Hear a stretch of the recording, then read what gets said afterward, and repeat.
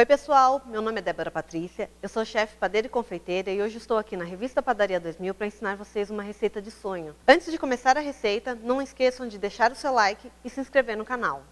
Nos sigam no passo a passo.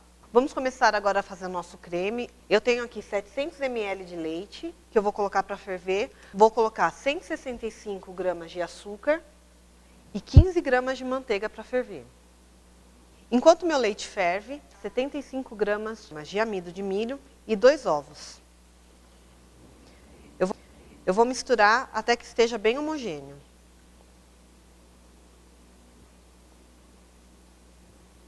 Aqui o leite já está fervendo, eu vou pegar uma concha e colocar naquela mistura que nós tínhamos feito anteriormente, do amido e dos ovos.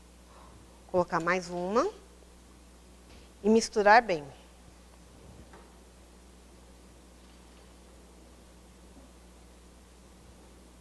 Após, após misturado, vou jogar de volta na panela. E mexer até engrossar. Agora nós vamos misturar até que chegue na consistência desejada. Assim que chegar, nós vamos mudar o recipiente, colocar um filme plástico em cima e aguardar esfriar. Agora nós vamos iniciar fazendo a massa da, do nosso sonho. Aqui nós já temos uma esponja onde tem 200 gramas da farinha, do total de 1 quilo que nós pedimos, nós vamos utilizar 200 gramas, 150 ml de água e o fermento, 10 gramas de fermento instantâneo. Nós vamos adicionar o leite, que são 200 ml de leite, e vamos utilizar a espátula para soltar toda a mistura já preparada. Então, para a gente não perder nada da nossa esponja, a gente já usa o leite para soltar. Dá uma mexidinha. Vamos acrescentar o açúcar, que nós temos 150 gramas de açúcar.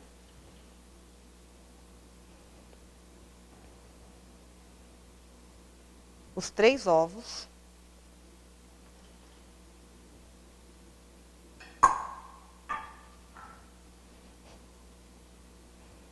E 150 gramas de manteiga em ponto de pomada, que é esse ponto um pouco mais mole. Ela não está derretida, mas também não está dura.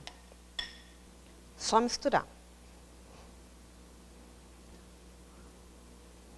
Aqui na batedeira nós temos o restante da farinha, que são 800 gramas. Vamos colocar 15 gramas de sal e pôr para misturar. E agora vamos agregar o restante da mistura.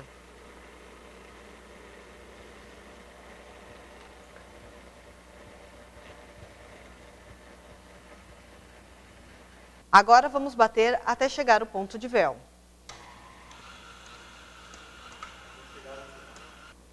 Aqui já temos a massa em ponto de véu. Eu vou cortar um pedaço para que vocês vejam o ponto de véu.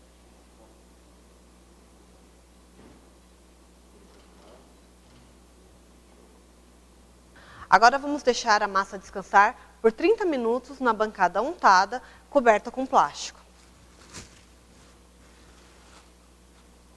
Agora nós vamos porcionar a massa em porções de 50 gramas.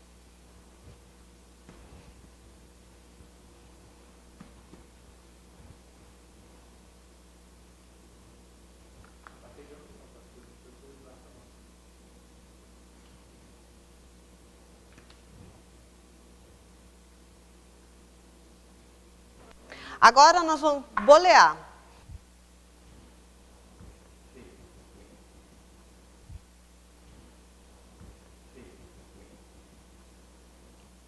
Após fermentar, levaremos ao forno tanto turbo quanto lastro a 160 graus por 5 minutos. Após esses 5 minutos, baixaremos a temperatura para 150 graus e assaremos por mais 5 minutos. Após assado e frio, nós fritaremos ele em óleo quente a 160 graus. A fritura é rápida, porque ele já está pré-assado. Após chegar na coloração, só tirar e pôr para escorrer.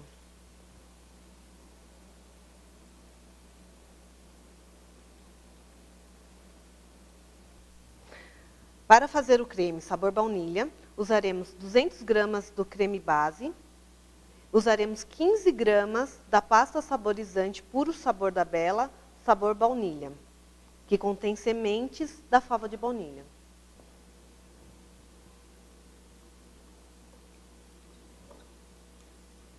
Agora faremos o creme de framboesa. Para isso, utilizaremos 200 gramas do creme base. Utilizaremos a pasta saborizante do puro sabor da Bela, 7 gramas sabor framboesa, que contém um bom aroma e uma elegância na sua coloração.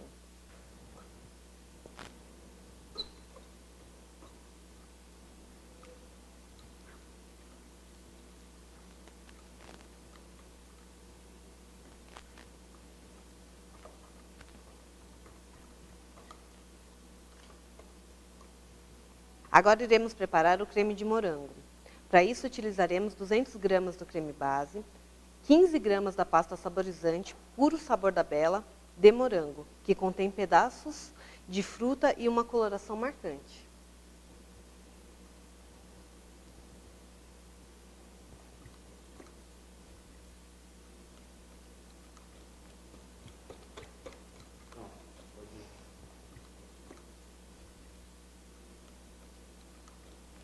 Agora nós faremos o creme de maracujá. Para isso, utilizaremos 200 gramas do creme base, 20 gramas da pasta saborizante puro sabor da Bela de maracujá, que contém pedaços de fruta, aroma e refrescância das frutas cítricas.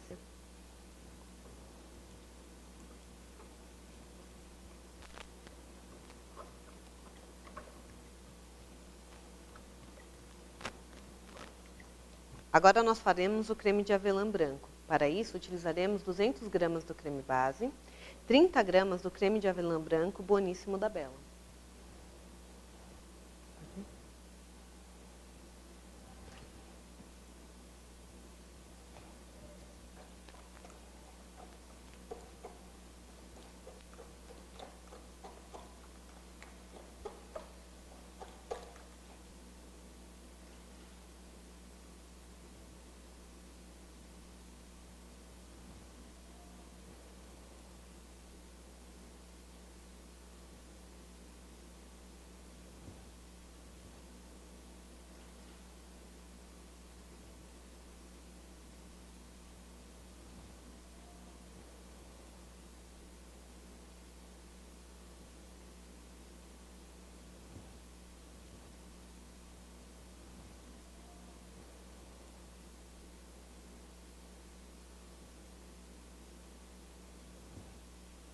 Vou rechear com creme tradicional de baunilha.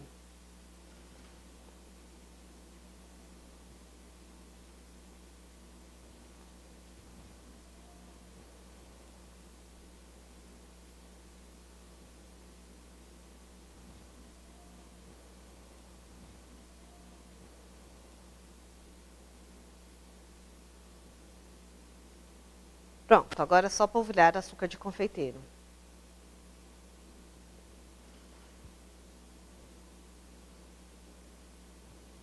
Está finalizada a nossa receita de sonho. Espero que vocês tenham gostado. Se você gostou dessa receita, não esqueça de deixar seu like, de compartilhar com seus amigos e de se inscrever no canal. Até a próxima aqui na revista Padaria 2000.